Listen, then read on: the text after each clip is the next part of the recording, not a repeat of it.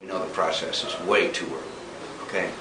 Um, We should have the three early states, which is not Florida, South, Iowa, South Carolina, and New Hampshire and South Carolina. And then we should stretch out the process so people have a chance to examine the candidates. It's now over on February 5th, as you know, and uh, we don't have our convention until September. It's crazy. If you don't have a kind of a bat- battleground state like these three early states, then the person with the most money buys. Uh, You need to have the kind of uh, scrutiny examination, the uh, town hall meetings. I I think that process is very bad. It's very difficult to campaign in- in Florida, and that's why money assumes such a huge role, as you know, in the purchase of media.